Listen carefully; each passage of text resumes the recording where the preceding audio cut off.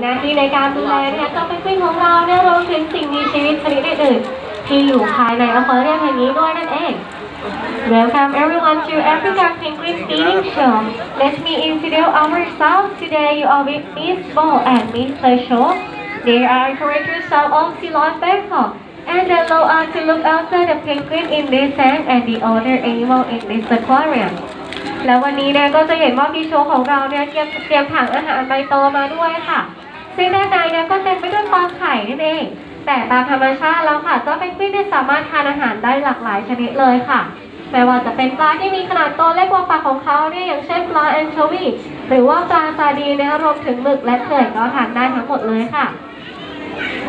Today, to our, today our sub bring the big bucket there inside full with the cutlip fish. But in the nature, they can eat a lot of fish that's smaller than their mouth, such as anchovy, sardine, squid, and krill also. และสำหรับเพนกวินที่เราทำการจัดแสดงในตู้ตรงนี้นะคะพวกเขามีชื่อเรียกว่า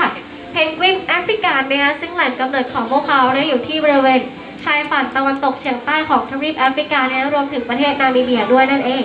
ซึ่งจริงๆแล้วเนี่ยเพนกวินสายพันธุ์นี้เนี่ยเขามีชื่อเล่นหรือว่าฉายาอีกชื่อหนึ่งด้วยนั่นก็คือเพนกวินเจ็ดแอสหรือว่าเพนกวินล้านนั่นเองค่ะ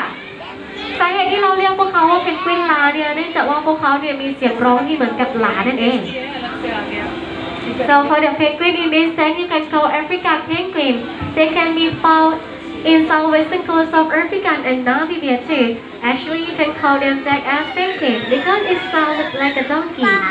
และสำหรับขนาดตัวที่เราเห็นกันอยู่ตอนนี้นะคะก็เรียกได้ว่าโตเต็มที่แล้วค่ะโดยที่ส่วนสูงของพวกเขาเนี่ยจะอยู่ที่ประมาณ 60 ถึง 70 เซนติเมตรเท่านั้นค่ะ และน้ำหนักตัวนั้นอยู่ที่ระหว่าง3ถึง5กิโลกรัมนั่นเอง